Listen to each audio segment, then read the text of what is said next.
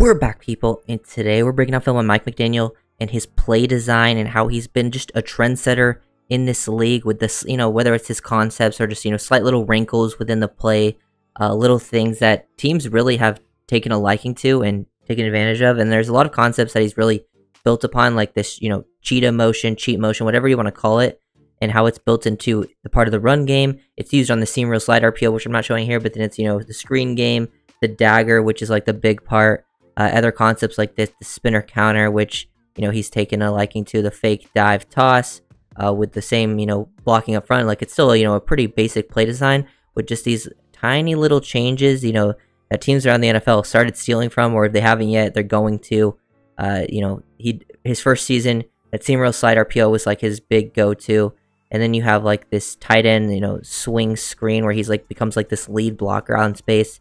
Dolphins used it to success for multiple times last year. Then I started seeing other teams start taking advantage of it. This momentum double team right here. Uh, this is more of like a Shanahan kind of thing, but I really think McDaniel started to uh, popularize it this year, played an effect into it, and uh, the way that he kind of turned a lot of these plays or just like tiny little play design things that change that just help out your offense that other teams started stealing. Uh, that makes uh, him a very exciting to watch. I'm excited to see how it plays into the to the team next year because there's just these little details that change the play calling, and then I still don't. I think these won't be like the main parts of the team. It'll still be part of the playbook, but he always comes up with something completely new uh, every single year. So breaking this down, you know, they have Tyreek align in the wing pretty much on all of these concepts. You know, you can use this with Waddle too, but this is like the Tyreek play. You get him going out, quick out. This puts the defense in so much conflict uh, with these like quicker motion. It gives them less less time to communicate and pass things off, which is they did this in week one, and teams started doing it and then uh, really comes off with the dagger. It also allows Tyreek to build up this momentum, and he can get to top speed so fast that he only needs those you know couple steps. Uh, the big dagger, and it just creates all this space. They ran this so much throughout the season, and then this just turned into more and more different you know little wrinkles that you could use out of this. I'm not going to show all of them, but uh, so many different play calls you can take advantage of. That's like the big one right there. That dagger, uh, the space created the pressure it puts on the defensive backs to communicate, pass things off. They do this on their seam reel slide RPO, which I'm not showing. And then here's the screen to Waddle, where it ends up becoming like a tunnel screen to Waddle after the, you know, the cheat motion with Tyreek after being from the wing. They even do this in a different way later on, where Tyreek ends up sitting right here and becoming the screen guy, but this time it goes to Waddle on the tunnel screen. Uh, just so many different ways. Teams play aggressive, and if you keep them on their feet with all these different play calls, it just puts a lot of pressure on them. And, you know, when Tyreek's going out, a lot of eyes and focus will be on him. They gain this depth, and then uh, you have all these lead blockers out in space off of it, and Waddle can go to work. And when you have that speed, he just has so many weapons to play with, and even became part of the running game. You know, the quick cheat motion where Tyreek ends up becoming basically a lead blocker out to the uh, pass here, and then they uh, block down, crack toss, use this in all of your different concepts lead, and then now Tyreek's blocking a, a corner out in space off of that, which is super exciting. Definitely, I would say the I feel like the probably the most popularized concept last year was like this squatting receiver basically as your wing, get going out in a cheat motion. Sometimes it's one step, sometimes it's a few steps. Dolphins used it in many many different ways. Timing and leverage are so important to the offense that it just gives you a little uh, better timing within the play and gives you better angles to win on your route concepts. Um, and then that's one I feel like kind of every fan saw last year. Here's the spinner counter. Uh, pretty basic up front when you look at it like blocking wise. Blocking wise is pretty much the same thing. Uh, you're just running counter up front. But then you have the motion here. This is Achane working like he's going to orbit motion around. And this is something that's good because the Dolphins like to run like these basically. They even do this out of the backfield too, where they behind the back handoffs or it becomes like an end around reverse type thing. And then you have Mostert counter stepping. But with this spin happening, it puts like linebackers with poor eye discipline now are caught looking into the backfield when they should be reading the pulling offensive lineman because they're down. These guys are down blocking. These two are pulling across to kick out, and then you're just running this spinner counter, which uh, McDaniel also, you know, with the concepts he's called, he's used these other types of looks. So now when you add this spinner counter action up front, where you can hand it off to your running back after doing all of these things behind the back, where Tua does turn a lot of the time like that in shotgun. Most quarterbacks, you, you'll notice when I play later on, most quarterbacks don't turn like this to hand it off and shotgun behind them. So then now when you can turn it into a counter and hand it off this way, and there's other plays you can kind of build off of this, as you'll see later on. It's very, very impressive. Um, and they block it up very well up front. And these linebackers, just look how it freezes them. They're so late. Look at all four of these defenders, DBs. Everyone's so out of position. This is really poor play by the Broncos. And the Dolphins absolutely took advantage of it. And early on, I think this is a big reason you see the Dolphins have a lot of success early on is because teams have no idea how to game plan against McDaniel. It takes them like a while to figure it out. And then he keeps adding details. This is one that came a little bit later on. Uh, Dolphins are a big crack toss team. They love to run crack toss. You can see crack toss down. Um, this started happening around the Washington game, so uh, second half of the season. They started running this like fake dive where Tua opens up the opposite way he's going to pitch it. Um, they're still blocking it up front like how you would block crack toss, whether you know you're pin and pulling or like outside zone basically. Climb to the second level, down block there. But then they give like this little fake uh, hesitation here, like they're gonna run. It's almost like a counter step, and then boom, the running back goes to the toss to the opposite side of the field it's just like tiny little wrinkles that he adds that um and this one didn't even take like the league by storm because he started doing later in the season so teams didn't like take it but i feel like you're going to start seeing this more and more in the nfl um also you have like the motion going with the play here. You can do other tiny little wrinkles. He doesn't run just like the same exact concept because that motion went with the play to be like a lead blocker. This time he has the receiver motioning away from the toss uh, to like kick out the guy they leave unblocked here, you know, kind of hesitate to it. And now you can build even more plays off of this, uh, get the momentum. Because when you do this, look at like just this motion makes the linebackers have to reset before the play, their gaps shift. And then Tua doesn't even waste too much time. He just gives like a little hesitation. He opens up this way and Achane a little hesitation. They started doing it faster and faster as the season went on because it's the last game of the season. Um, it's still the fake dive, but it's just a little hesitation. Boom, toss. Now Achane gets out in space, uh, gets a one-on-one with a safety, and he absolutely takes advantage of that. So love all these little wrinkles. This one's one of my favorites. Uh, this play design, they do it in multiple different ways. You'll see with most uh, with uh, Durham Smythe, Smythe in the next play that they orbit motion. This time it's just a clear motion across, more like a jet, and then uh, you can still run your play off of this. Like, look, Tua's trying to get, see if he gets one-on-one to Tyreek here, but he sees the safety go over to play too high, sees it's too high, comes down. This is a third and seven, by the way. So this is like one of his last options. Uh, he looks over the middle, sees this is an open. So he throws it in the flat to Raheem. This guy is a swing. So it's a tight end swing screen with that motion played into it, with however you want to do the motion. You have multiple different looks, so it's not always just super easy for the uh, defense to see. Mostert ends up scoring on the play because he has a clear lead blocker on space. But it's not like a screen where it's a bunch of O linemen going there and the whole defense is flooding at it. It's just like a guy that looks like he's running a route as well that ends up being a blocker for him.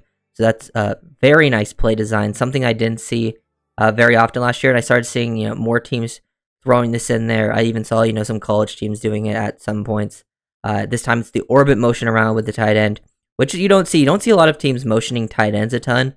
Uh, Dolphins do it a bunch. They motion more than any team in the NFL, and uh, McDaniel does it a whole ton. And it's like Tua, He's looking over here. There's a Tyreek's running a fade. He sees that it's not open, so he just takes it off, throws it back to Mostert, gets a 101. Uh, really, really nice because even like he gets just a blocker here. So Mostert's not even be covered by anyone because it's just he has a two on one advantage. But even if it's a two on two, then that just leads to Mostert having to be one guy out in space because if the blocker gets his job done, then it becomes a one on one in space. Um, and if they give more numbers there, then you have the advantage to still go in other places uh, McDaniel, definitely an expert in his play design, loves the wrinkles. Momentum double team. We're only show one example here, but they did this in other games. There's the Carolina play. They do this where Mostert has a huge run here for Achane. Ends up being the double team, and this is like a crack toss double team. They do this in a couple different ways. Here, they're cracking down on the DB. Momentum double team. So Smythe drops his shoulder into him, and then you're having Julian Hill. They love to do this with Julian Hill. Motion across, build the momentum, and then boom, take on Oweh, block him out of the way, and then now the guy that was blocking him on the outside is now releasing to get to the corner. Really well executed up front, like ideally how you want it. Just throw your shoulder into him, and then once he slows down that edge, take him out of the play. And when they build this momentum, it always just catches them off guard because they're always expecting to get squared up here. They get just a little bit of that tight end, and they never see this guy coming. Blows them out of the play. I've seen Julian Hill put a bunch of edges now, you know, on their ass from this type of play. And then Achane breaks it loose with a bunch of space to work with. This is a kind of play that you could give McDaniel or Shanahan credit to. They both uh, kind of used it a lot last season, but I saw Dolphins have some big plays come out of it.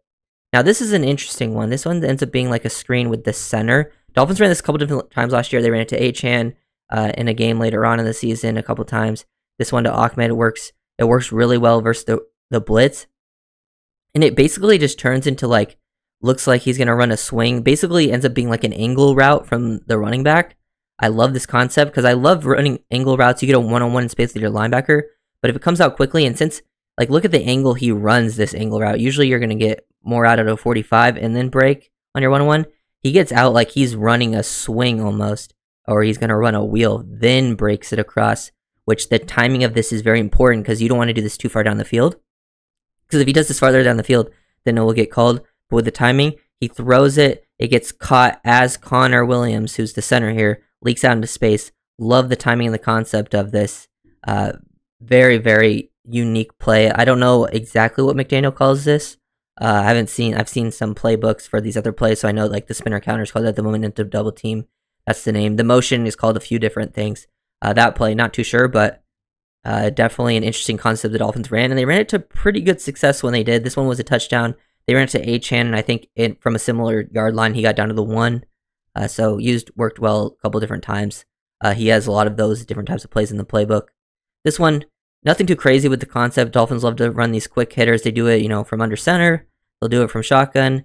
Now, this is like why I want to talk about this because imagine you have two backs in the backfield, which they do here, but not a fullback.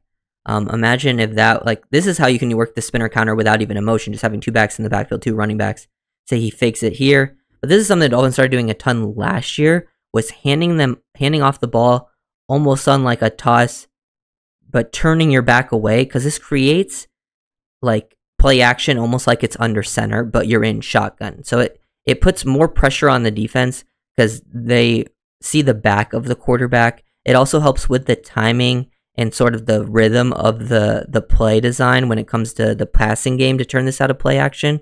Everything just feels a little more smooth. He doesn't have to gain as much depth, but everything you know allows things to develop a little bit more, and then uh, it really slows down the pass rush. And the second level bites a little bit harder on these play action calls. And this is not something I've seen a ton of uh, before McDaniel started doing it. So I really think he sort of revolutionized the the behind the back play action or just handoff out of shotgun where he turns around almost like he's under center. It uh, simulates that. So I love that sort of little wrinkle that he adds to play because he still runs like his same concepts out of this that you're always going to run. You know, the quick little uh, hitter over the middle of the field to Smythe. But yeah, very impressive. And this is another example of how you can take advantage of that spinner counter look, the behind the back stuff that you're going to hand it off, the sweep. This guy's motion across. Tyreek's in his typical wing spot. So now you're building off of this with your motions. He quicks, you know, goes quick out, but he doesn't this time. And it ends up boom, quick toss, shovel forward.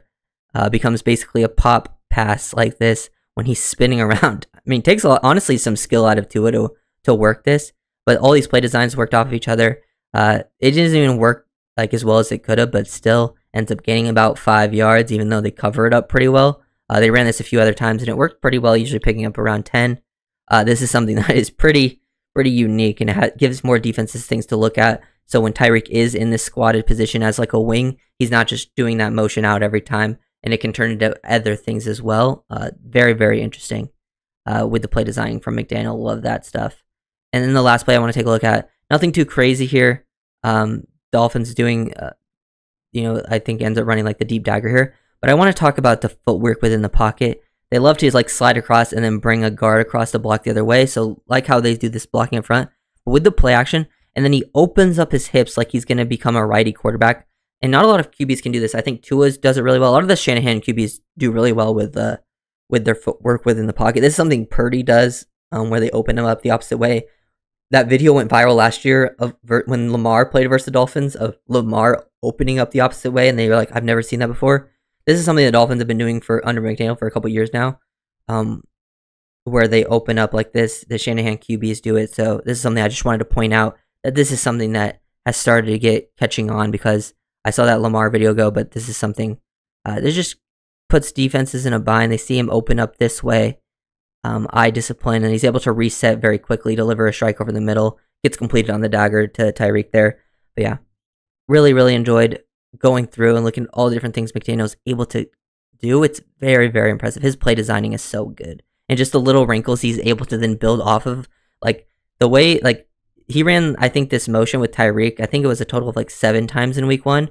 And they ran a lot of this dagger out of it, or like similar, like and even then it turned like just basic stuff like where this motion with Cheetah ends up not being a dagger, it ends up being, you know, a deep comeback where he creates a lot of separation. You can just run so many of your plays off this, and then you have your little wrinkles that turns into screens to multiple different guys. It's really impressive. So if you guys know the video, make sure to like, comment, subscribe, and I'll see you. Peace.